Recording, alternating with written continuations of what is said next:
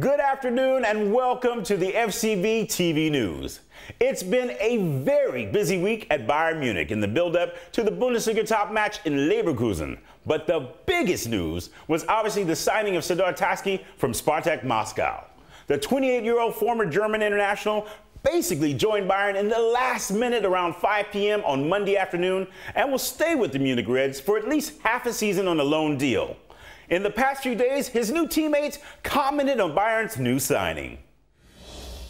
Er He's a real trained centre back, and that can be very important for us now that Jerome and Javi are injured.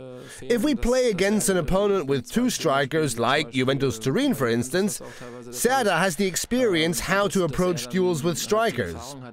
He has very good ball handling skills, he has a good passing game, he's an offensive centre back if you will, and he's great in the air too. Äh, und äh, natürlich auch kopfballstark. Unfortunately, Tasci suffered a minor concussion in the first full team training session at Bayern Munich on Tuesday.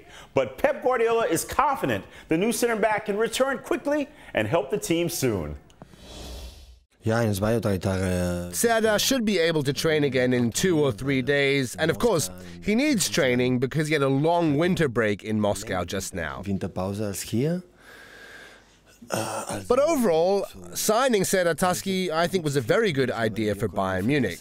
Don't forget that we only have one fit centre back at the moment with Holger Badstuber. That's why Serdar Tasci will certainly be able to help us with his experience, his speed, his control and possession, and his passing game.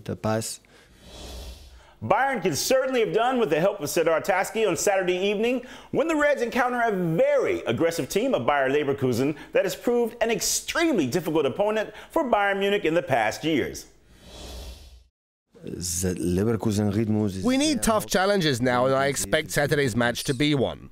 Leverkusen plays on a very high level and with great intensity, and that's going to be a very good test of strength for us. We're definitely playing against one of the best teams in Germany.